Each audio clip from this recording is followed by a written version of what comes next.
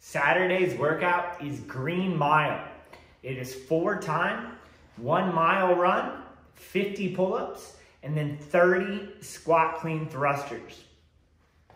If you do not have a pull-up bar um, or a barbell, it is gonna be a one mile run, 50 alternating renegade rows, and then 30 dumbbell squat clean thrusters.